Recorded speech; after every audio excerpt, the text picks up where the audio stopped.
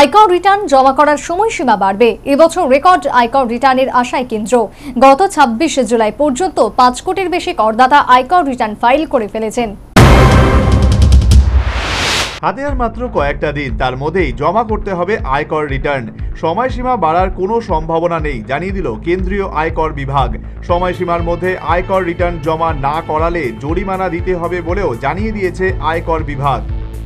আয়কর বিভাগ আগেই জানিয়ে দিয়েছিল দু হাজার তেইশ চব্বিশ অর্থবর্ষে আইটি রিটার্ন ফাইল করার সময়সীমা একত্রিশে জুলাই। কিন্তু গত কয়েকদিন ধরে জল্পনা শোনা যাচ্ছিল, ওই সময়সীমা নাকি বাড়ানো হতে পারে। জল্পনা গতি পায় চার্টার্ড অ্যাকাউন্টেন্টদের সংগঠনের একটি বৈঠকে। চার্টার্ড অ্যাকাউন্টেন্টদের সংগঠন চিঠি লিখে আয়কর বিভাগকে সময়সীমা বাড়াতে অনুরোধও করেছিল।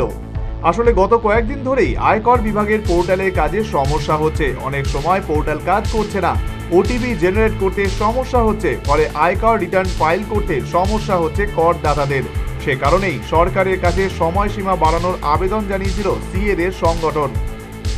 কিন্তু কেন্দ্র সেই আবেদনে সাড়া দেয়নি। আয়কর বিভাগ জানিয়ে দিল, একত্রিশে জুলাইয়ের মধ্যেই আয়কর জমা করতে হবে।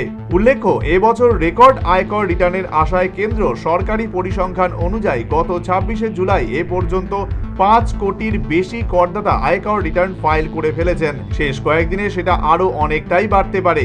কেন্দ্রের তরফে এই সৎ করদাতাদের ধন্যবাদও জানিয়েছে সরকার। Bureau report, News Vanguard.